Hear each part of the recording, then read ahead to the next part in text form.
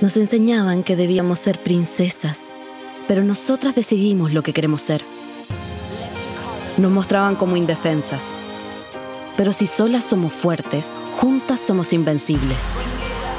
Nos dijeron que las niñas usan rosado, pero no hay un solo color que nos defina.